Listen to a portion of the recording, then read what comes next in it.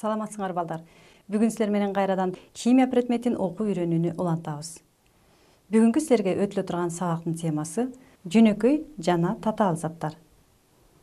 Бул сабактын жүрүшүндө силер жөнөкөй жана татаал заттарды айырмалоого үйрөнөсүңөр жөнөкөй заттарды түзгөн элементтердин мезгилдик системада алган орду менен таанышасыңар ошондой эле аллотропиялык түр өзгөрүү жөнүндө түшүнүк аласыңар балдар силер менен бүгүнкү сабакта заттарды эки топко бөлгөндү үйрөнөбүз жөнөкөй заттар жана татаал заттар заттарды экиге бөлгөндү үйрөнүү үчүн силер менен эң жөнөкөй тажрыйбаларга байкоо жүргүзөлү дагы анын жыйынтыгынан кийин жөнөкөй зат деген эмне татаал зат деген эмне деген эки суроого жооп алганга аракет кылып көрөлү келгиле азыр силер менен эң жөнөкөй тажрыйба жасап көрөлү тажрыйбага силер абдан кылдат байкоо жүргүзгүлө дагы алардын учурунда тажрыйбага кылдат байкоо жүргүзүп кандай заттар пайда болуп жаткандыгына көңүл бурсаңар.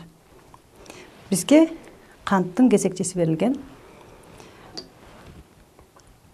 Аны пробиркага э, кармагыштын жардамы менен ушундай кылып жайгаштырып алабыз. Бир аз эле өлчөмдө кантты пробиркага салдык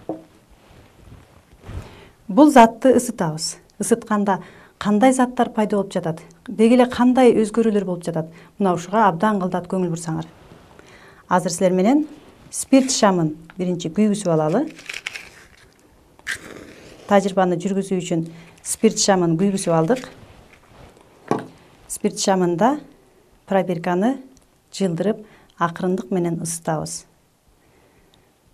пробирканын бети ысыйт анан кант түзүн өзгөртө баштайт.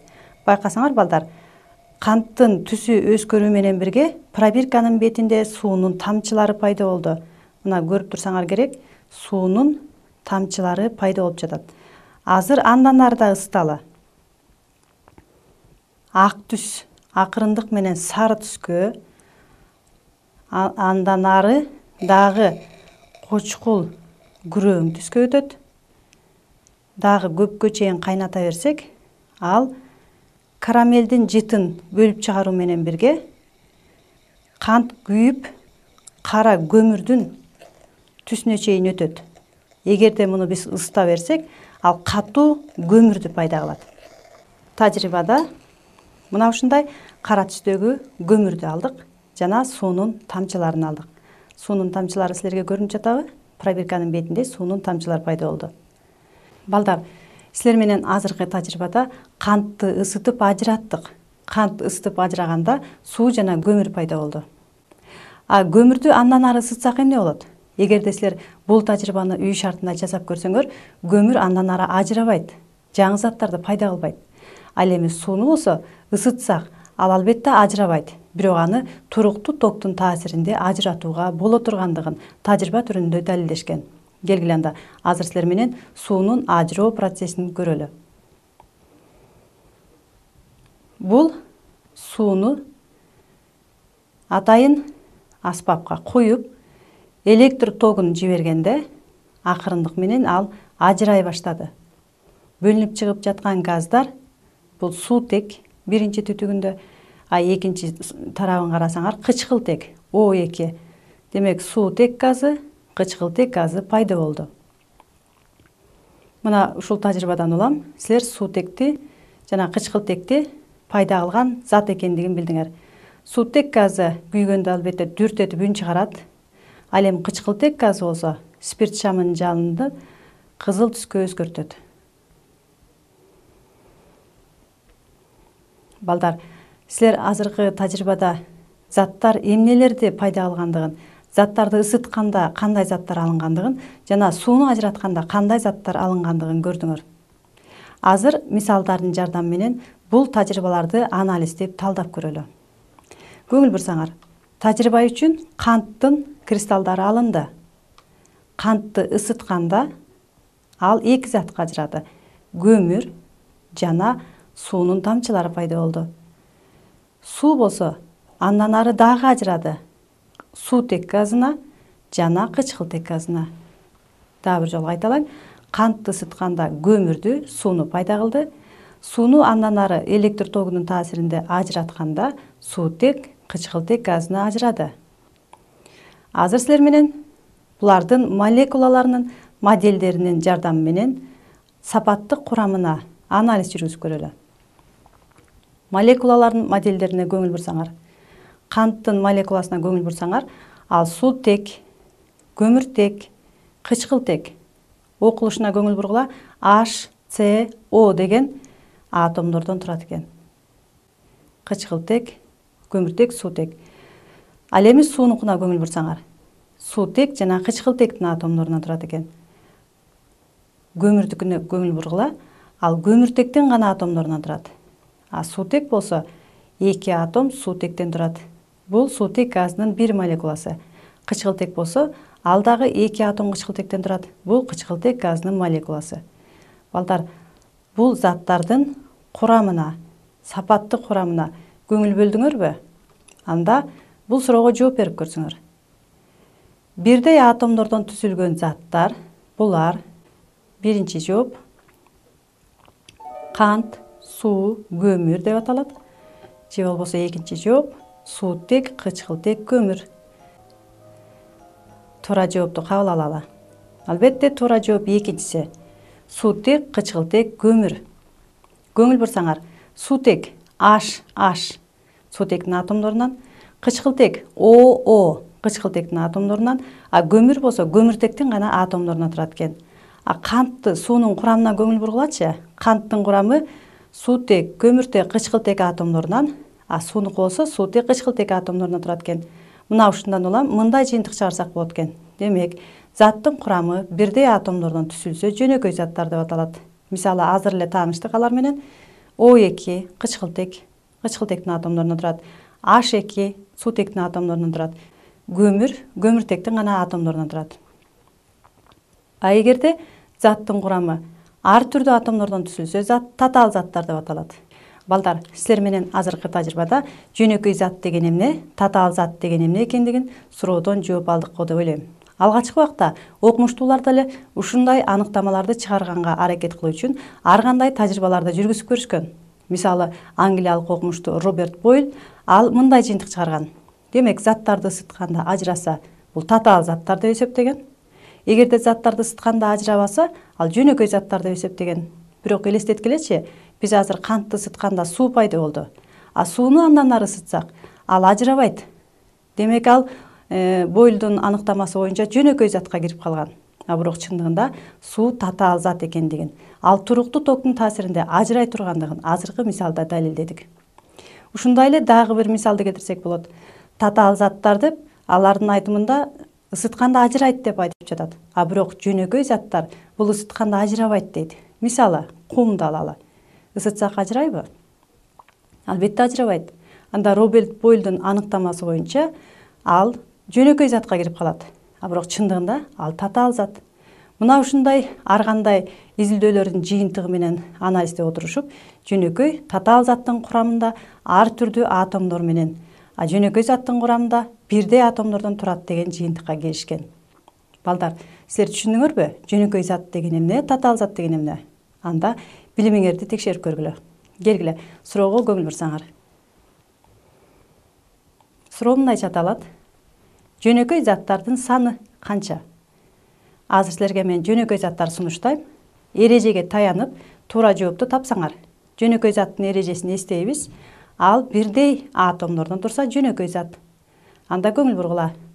О эки с эки хлор эки купрум.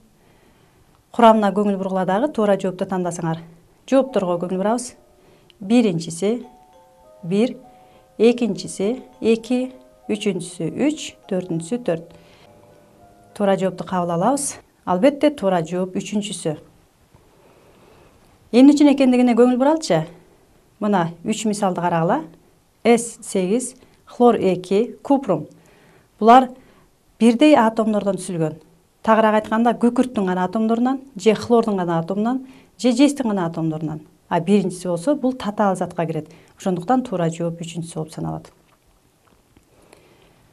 жөнөкөй заттар менен таанышып алдык жөнөкөй заттар өз ичинен экиге бөлүнөт металлдар жана металл эместер балдар эсиңерде болуш керек. Буларды айырмалаш үчүн мезгилдик таблицага көңүл бурасыңар өткөн сабакта да кайталаганбыз металл эместер бешинчи элемент бордон баштап сексен бешинчи элемент астатка чейин диагонал жүргүзсөңөр ал сызыктын үстүндөгү жардамчы топтогу жыйырма эки элемент металл эмес калгандары металлдар. Анда азыркы таанышкан мисалдарды эстейличи мисалы азыркы суроодо силер жез жөнөкөй зат деп айттыңар. Ал жөнөкөй заттардын ичинен металлдарга кирет экен ошондой эле дагы эки мисал менен тааныштыңар. Хлор эки с сегиз күкүрт жана хлор демек бул заттар болсо металл эместерге кирет экен айырмасын көңүл бурсаңар жез химиялык формуласы химиялык белги менен гана жазылган купрум деп а металл эместерди карасаңар индекстер бар. Хлор эки эки деген индекс. С сегиз сегиз деген индекс. Эмне үчүн мындай белгилер менен белгиленет азыр силер менен металлдыкын гана карап көрөлү эгерде жөнөкөй зат атомдук же металлдык структурага ээ болсо же молекуланын атомдук составы белгисиз болсо ал химиялык элементтин химиялык белгиси символ менен гана көрсөтүлөт мисалы көңүл бургула металлдардыкы купрум деп жазылат кийинчерээк химиялык теңдемелерди жазганда силер эч кандай индексти койбой туруп өзүн жазасыңар мисалы силерге белгилүү металлдар күмүш алтын темир алюминий.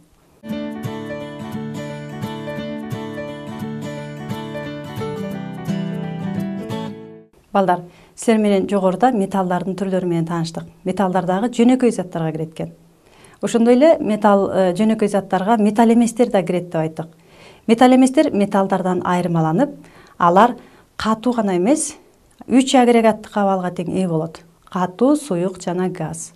Азыр силер менен газ абалындагы катуу абалындагы жана э, суюк абалындагы ар кандай заттар менен таанышып көрөлү металл эместердин мезгилдик системада алган ордуна көңүл бурсаңар азыр эле айтып өттүк булар бешинчи элемент бордон астатка чейин диагонал сызыгын жүргүзсөк анын жогору жагында түс менен белгиленип турат мисалы азыр силер менен э, сегизинчи топто жайгашкан инерттүү газдар менен таанышып көрөлү эмне үчүн булар инерттүү деп аталып калган таблицага көңүл бурабыз мына силер көрүп турган гелий неон аргон криптон ксенон радон деген инерттүү газдарды көрүп турасыңар эмне үчүн булар инерттүү газдар деп аталып калды экен анткени булардын сырткы катмарында сегиз электрону толуп бүткөн ошондуктан алар башка атомдор менен байланышууга жөндөмсүз.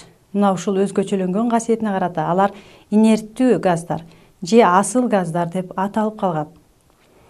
Балдар инерттүү газдар өзгөчөлөнгөн касиетине байланыштуу биздин турмушубузда ар кандай максаттарда колдонулат мисалы алардын ичинен эң жогору жагында жайгашкан гелий газы жөнүндө сөз кылып көрөлү мына силер көрүп турасыңар гелий экинчи катарда орун алган ал суутекке караганда бир аз оорураак массасын карагылачы суутектики бир гелийдики төрт.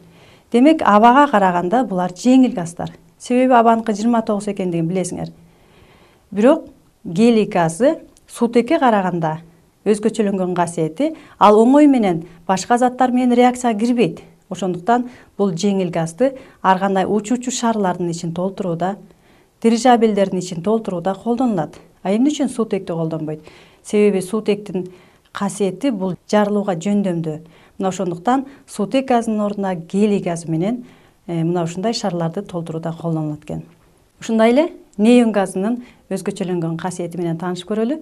Бул газ дагы асыл газдарга кирет мезгилдик таблицага көңүл бурсаңар неон газы онунчу катарда жайгашкан бул ар кандай жарыктарды берүүдө мына ушундай максатта колдонулат экен мындан сырткары металл эместер мезгилдик таблицада э, башка дагы топтордо жайгашкан мисалы төртүнчү бешинчи алтынчы жетинчи топто жайгашкан металл эместердин химиялык формуласы ар болот биз жогоруда айтып өттүк металлдардыкы химиялык белги менен гана белгиленет деп. А металл эместердики болсо ар кандай түстө э, формуласы ар кандай болот экен мисалы азыр инерттүү газдардын формуласын жазганды үйрөнөлүчү биринчи көңүл бурсаңар инерттүү газдар мындайча жазылат инерттүү газдардын химиялык формуласы химиялык белги менен гана белгиленет гелий аргон ксенон неон криптон радон деп химиялык белги менен гана белгилейт экенбиз балдар азыр силер менен башка дагы газдардын түрлөрү менен таанышалы.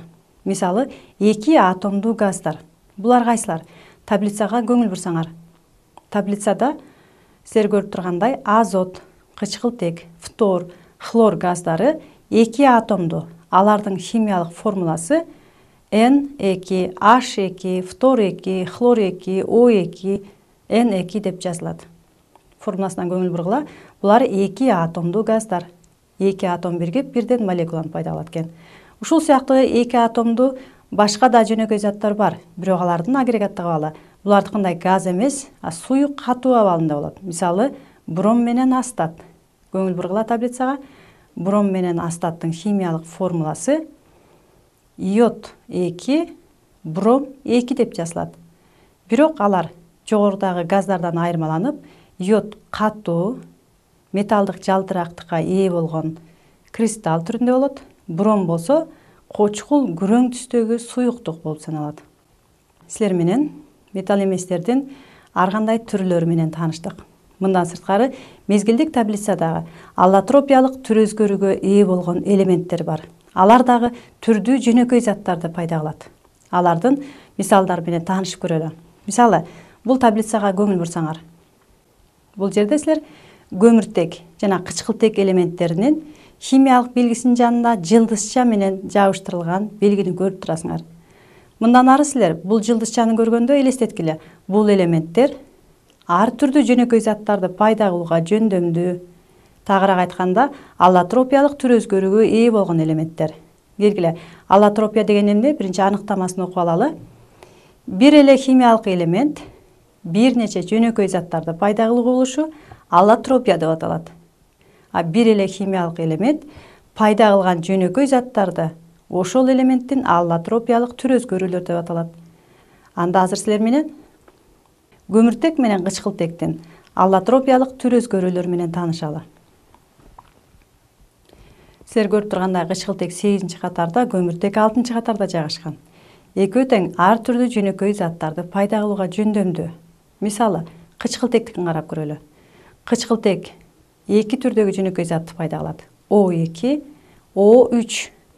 Мына жер планетасынын сырткы катмарын карасаңар эки катмарды көрүп турасыңар. Ички катмары о эки. Кычкылтек газы бар бул атмосфера. Бул жер бетиндеги тиричиликти камсыз кылуучу газ. Ал эми сырткы катмары о үч озон катмары. Тагыраак айтканда күн системасынан түшүп турган ультрафиолет нурларынын баардыгын өзүнө сиңирип жер бетине түшүрбөйт башкача айтканда озон катмары болбосо жер бетинде тиричилик болбойт деген сөз. Мына силер азыр эки жөнөкөй зат менен тааныштыңар экөө тең бир эле химиялык элемент кычкылтектин курамында бар экендигин көрдүңөр азыр болсо көмүртектик менен таанышалы көмүртек үч түрдүү жөнөкөй затты пайда кылат мисалы алар үчөөнүн тең формуласы с менен белгиленет окшош. Мисалы аларга алмаз кирет графит жана карбин кирет. Көрүп турасыңарбы? Алмаз өзгөчөлөнгөн касиети ал катуу өтө катуу зат. Алмаз менен металлдарды кесүүгө болот. Алмаз менен алмазды гана кесе алабыз. Ал эми графит ага тескерисинче карама каршы касиетке ээ ал өтө жумшак. Эгерде графит менен жазсак из калтырып жазылат. Мисалы силер карандашты жазганда из калгандыгын көрүп жүрөсүңөр. Мына графиттен жасалат карандаш. А карбин болсо көрүп турасыңар майланышкан металлдык жалтырактыкка ээ болгон кара түстөгү зат экен. Бул үчөө үч башка зат. Бирок үчөөнүн тең формуласы с көмүртек менен жазылат. Ушундай эле башка дагы аллотропиялык түр өзгөрүүгө ээ болгон э, элементтерге күкүрт жана фосфор кирет. Келгиле силер менен азыр күкүрттүн кандай жөнөкөй заттарды пайда кылгандыгын көрөлү күкүрт мезгилдик таблицада он алтынчы катарда фосфор болсо он бешинчи катарда жайгашкан азыр күкүрттүкүн карап көрөлү анын химиялык формуласы көңүл бурабыз химиялык белги менен с менен жазылган учурларды көрөсүңөр кийинчерээк жана с сегиз мына ушул молекулалык формуласы да бар. Булар сары түстөгү кристаллдарды же сары түстөгү порошокторду пайда кылат демек күкүрт элементи дагы аллотропиялык түр өзгөрүүгө ээ болот экен ал эми фосфор. Кандай заттарды пайда кылат азыр фосфордук менен таанышалы фосфор элементи дагы жөнөкөй заттардын түрлөрүн пайда кылат мисалы химиялык формуласы pgp4 деген эки түрдөгү молекулалык формулага ээ. Фосфор үч түргө ээ. Кара түстөгү фосфор ак түстөгү фосфор жана кызыл түстөгү фосфор. Силер көрүп турган мына кызыл түстөгү фосфор химиялык белгисине көңүл бурсаңар ал п деп гана жазылат. Ошондой эле кара фосфордуку да ушундай жазылат. А ак түстөгү фосфорлор молекулалык түзүлүшкө ээ. Алар п төрт деп жазылат. Булар дагы ар кандай жөнөкөй заттардын түрлөрү болуп саналат экен. Балдар силер менен металл эместердин кандай түрлөрү бар экендигин мисалдарын уктук. Силер өз алдыңарча мезгилдик таблицаларды колуңарга алып алардын химиялык формулаларын эстеп кайталап жазсаңар өзүңөр үчүн пайдалуу болот. Келгиле анда өзүбүздүн билимибизди текшериш үчүн дагы алдыдагы суроолорго жооп берип көрөлү. Суроого көңүл бурсаңар. Берилген сүрөттөрдүн бири татаал заттын курамын сүрөттөй албайт. Сүрөткө көңүл бурсаңар ар бир тегеректин өзгөчөлүгүн карасаңар. А силердин максатыңар суроодо берилген мындайча. Силердин максатыңар табышыңар керек. Берилген сүрөттөрдүн бири татаал заттын курамын сүрөттөй албайт дейт. Анда силер жөнөкөй затты табышыңар керек экен. Жоопторго көңүл бурабыз. Биринчи бир эки үч төрт. Келгиле анда туура жоопту тандасаңар. Берилген сүрөттөрдүн бири татаал заттын курамын сүрөттөй албайт. Анда силер суроонун максатында жөнөкөй затты табышыңар керек. Жөнөкөй зат бирдей атомдордон турат деген аныктаманы айтканбыз жөнөкөй зат бирдей атомдордон турат туура жоопту кабыл алалы. Албетте туура жооп төртүнчүсү анткени биринчи экинчи үчүнчү мисалды карасаңар ар түрдүү атомдордон турат а төртүнчүнү карасаңар бирдей атомдордон турат. Мына ошондуктан туура жооп төртүнчүсү болуп саналат. Бүгүнкү сабакка бөлүнгөн убактыбыз ушу менен аягына келип жетти. Кийинки сабакта жолугушканга чейин саламатта болгула